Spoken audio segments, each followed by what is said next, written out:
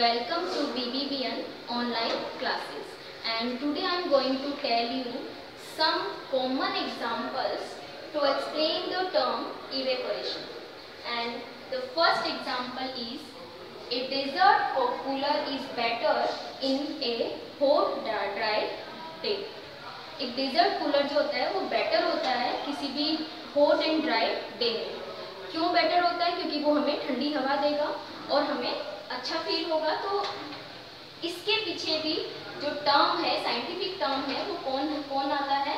जो प्रोसेस है, वो कौन सी हेल्प करती है?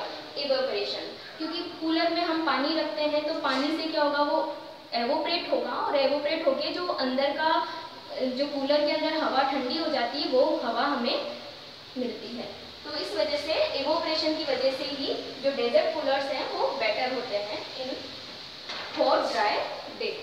Now, water is kept in an earthen pot and that is मटका become cool. मटके में पानी जल्दी से ठंडा हो जाता है। क्यों होता है? अर्दन पोर्ट्स जो होते हैं, उनमें वो मिट्टी के बने हुए होते हैं तो उसमें क्या होते हैं? छोटे छोटे टाइनी पोर्ट्स होते हैं और उन पोर्ट्स में जो मटके का पानी होता है, वो धीरे धीरे क्या होता रहता है? इवेपरेट होता रहता है और इवेपरेट होते समय हमें पता है कि इवेपरेशन में क्या होता है? लिक्विड जो होता है, वो गैस में कन्वर्ट होता है और लिक्विड से जब गैसियस स्टेट में कन्वर्जन होगा तो कुछ ना कुछ हीट जो होगा या जो इस प्रोसेस को करने के लिए एनर्जी जो होती है, वो कहाँ से मिलती है? जो वाटर है, वो वाटर अपनी इंटरनल एनर्जी को प्रोवाइड करेगा। तो इस वजह से क्योंकि उस वाटर को, के इवोपरेशन के लिए इंटरनल एनर्जी काम में आ रही है तो उस वजह से उस वाटर का टेम्परेचर क्या हो जाता है?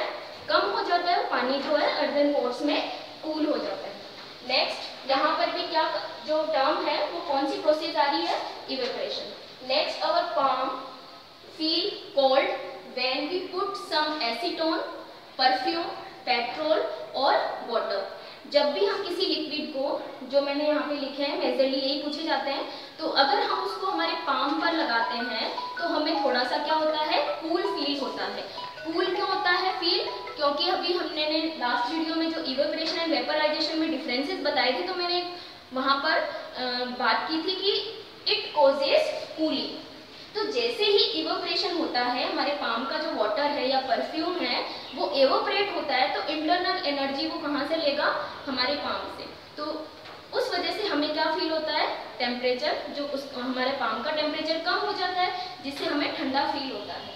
Next we able to sip hot tea और milk from a fast form में सोसर एक कप या ग्लास से दूध या टी जो है हॉट टी एंड मिल्क को पीने के से ज़्यादा बेटर होता है, हम एक सोसर में डाल के पिए। ऐसा क्यों होता है? क्योंकि सोसर में जब हम सोसर में हम अगर हॉट टी डाल रखते हैं तो क्या होता है सोसर का सरफेस एरिया ज़्यादा होता है। सरफेस एरिया ज़्यादा होने की वजह से जो एवोपरेशन है, वो फास्ट होगा और एवोपरेशन फास्ट होगा तो जो टी है हॉट टी है या हॉट मिल्क है, वो जल्दी से ठंडा हो जाएगा। Next we should wear white clothes in, white cotton clothes in summer. ये आप लोगों को सबको आपकी मम्मी वगैरह भी बताती होंगी घर पे कि हमें गर्मियों में वाइट यानी कि लाइट शेड के कपड़े और कॉटन की क्लॉथ्स वियर करने चाहिए। इससे क्या होता है? कॉटन क्लॉथ जो होते हैं, वो क्या करते हैं? हमारे जो स्वेट्स होते हैं, वो जल्दी से एब्जॉर्ब कर लेते हैं और एब्जॉर्ब करने के बाद में उनका एवोप्रेशन भी मतलब जो स्वेट होता है, उसमें मोस्टली वाटर भी होता है उसमें तो वो उसका एवोप्रेशन होता है उसकी वजह से हमें ठंडा फील होता है। तो गर्मियों में हमें कॉटन क्लॉथ्स पहनने चाहिए। कॉटन में छोटे छोटे पोर्स भी होते हैं तो एवोप्रेशन क्या हो जाता है? फास्ट हो जाता है। Thank you